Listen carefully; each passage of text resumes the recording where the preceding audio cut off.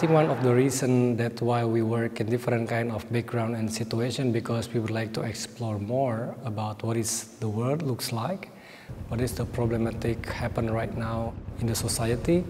But the most important things for us is about how we as an artist put our context in the society. We're reflecting our position as uh, one of the four populated country in the world, but we have difficulty with the democracy I grew up without any democracy. I mean, uh, under propaganda of the regime, a military regime.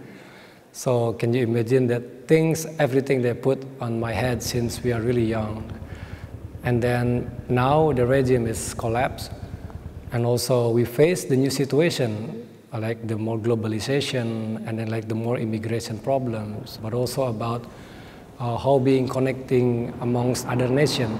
We as an artist we reflect this situation. So we try to make our own platform which is play and use the problem as our resource trying to see the, the problems into a different perspective all of our projects is uh, based on that situation always using the play and using uh, the intervention in the public space the issue that always involve publics like the human rights, environments, migrations, the marginal groups.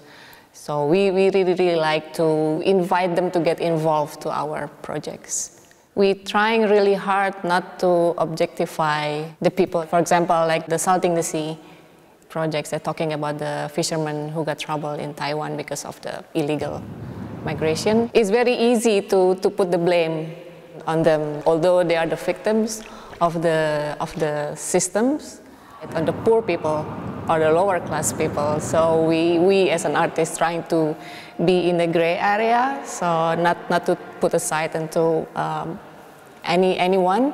We got a lot of uh, lessons actually.